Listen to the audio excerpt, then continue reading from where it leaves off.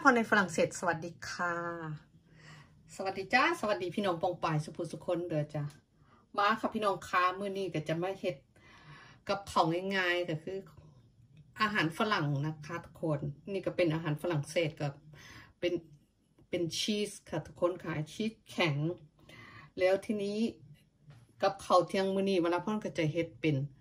เอ่อฟงดื้อฟอร์มาดค่ะทุกคน ก็คือ หรือที่ฝรั่งเศสก็จะเอิ่นว่าเลอฮักเกรตฮักเกรตเดฟอร์มาดเนาะก็จะเป็นชีสแข็งแล้วเราก็เอามาย่างค่ะทุกคน เอามาย่างในนี้นะวลาวันก็เสียบเสียบเตาเตาย่างไว้เรียบร้อยแล้ว ก็เอาชีสนี้ใส่ลงไป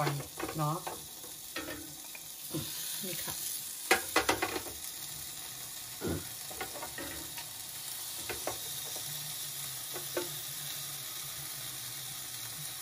ส่วนเลอคักเกรดฝรั่งเศสก็จะ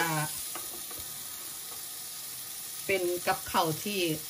กินเป็นครอบครัวถ้าบ้านเขาก็จะเกิดพวกซุกิยากิหรือหม้อปิ้งหม้อย่างอะไรประมาณนี้นะทุกคนนั่นแหละค่ะเขาก็เอาชีสนี่ใส่แล้วก็ย่างไปให้มันสุกก่อน ที่นี่ก็มาเตรียมจานเนาะทุกคนเนาะ ก็จะมาเตรียมจานอาหารไว้นี้ค่ะพอเราค้อนเตรียมไว้แล้ว มันก็จะเหลือแค่มันฝรั่ง ส่วนมันฝรั่งนั้นวลาพรมันฝรั่งวลาพรหนึ่งไว้เรียบร้อยแล้วค่ะทุกคนค่ะ นี่ค่ะ ก็จะใส่อย่างนี้เนาะ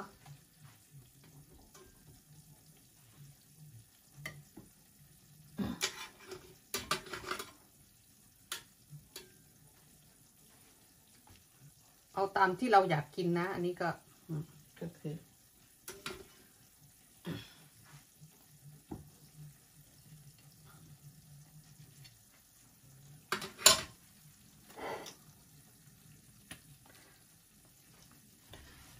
เวลาพ่นเอามันฝรั่งใส่ไปเรียบร้อยแล้ว ทุกคนค่ะ คือลาเก็ตของฝรั่งเศส ก็จะมีเอ่อมันฝรั่งมี มีเอ่อที่เขาเรียกแฮมเนาะ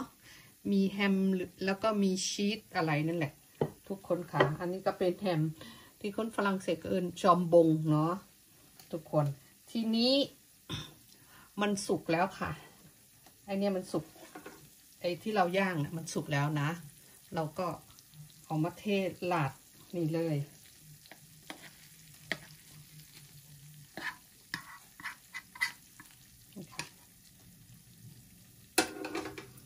กินต่อเราก็ย่างเนาะนี่นะ สุกแล้วนะ เทลาดมันมันฝรั่งที่สุกแล้วเลยค่ะทุกคนค่ะ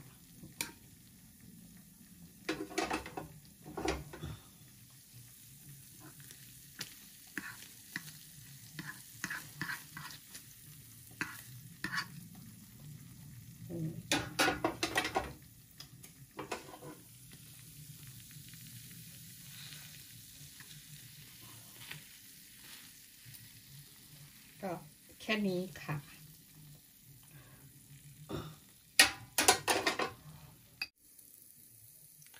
ก็เป็นอันว่าเสร็จเรียบร้อยแล้วค่ะ นี่ก็คือเป็นอาหารอีกหนึ่งจานของคนฝรั่งเศส ที่นิยมกินในช่วงฤดูหนาวนะทุกคนค่ะ มันเราจะกินชีสย่างร้อนๆราดหน้ากับมันฝรั่ง